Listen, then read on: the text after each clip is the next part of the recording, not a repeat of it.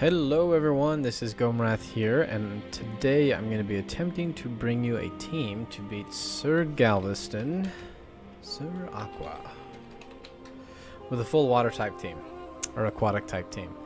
Now, this is my first time trying this, so it may not work, and if it doesn't, you're never going to hear me brag about it, uh, because I'll just have to make a new video. But here's the setup that I have. So I have the Slithershock Elver, which is an awesome pet that drops from the Garrison uh, Menagerie when you fight Erris. And uh, what I'm running is I got the dodge, dive, slash deep bite combo.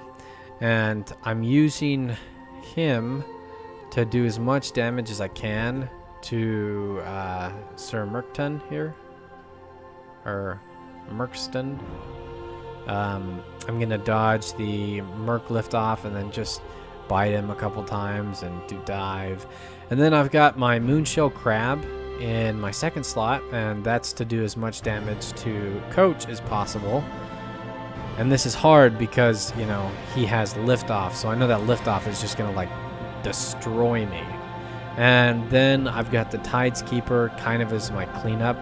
He's got a really hard-hitting Crush, then he has Body Slam and he's got Geyser. So we will see how this plays out.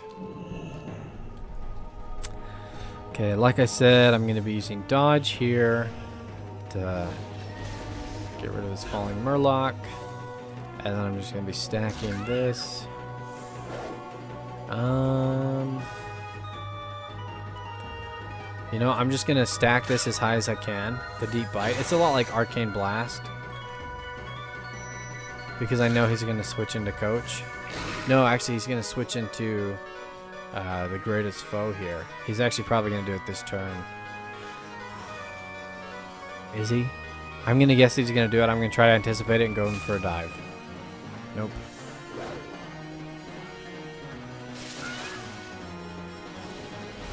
Oh, falling right Dang it. Okay. That was not the most auspicious start. Now he's going to switch into his flying type here. So we will start off with no, we'll go arcane slash. Okay, now he's gonna go into liftoff, so I'm gonna do shell shield, and then I'm gonna do another arcane slash. Ugh, that hurts so bad.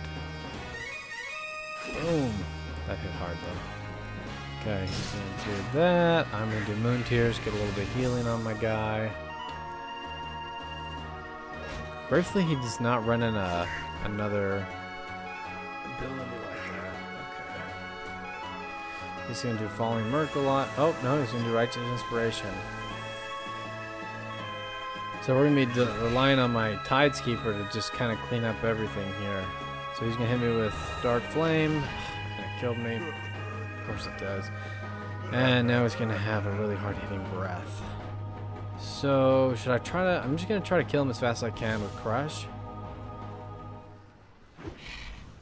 Okay. Middle. Let's see. Oh, nice high-end hit there. Come on, one more. Give me something, give me something to write home about. Oh, yeah. That's what I'm talking about.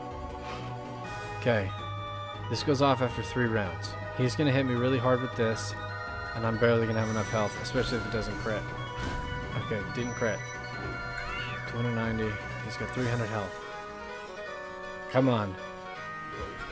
Yes! Not even close, guys. Like, I wasn't even worried there at all. He lied cleverly. Um, okay, so you saw the whole makeup of the team. That was close. You know, you could also probably use one of the young mutant uh, war turtles because they got jab and tornado punch. The reason I didn't go with one of them is because the Tideskeeper's crush just hits harder than the uh, than jab. So, yeah. Does jab always go first? I feel like this should be a move that should always go first. Cause anyway, if you found this video helpful, like rating would always be appreciated. And as always, it was a pleasure gaming with you.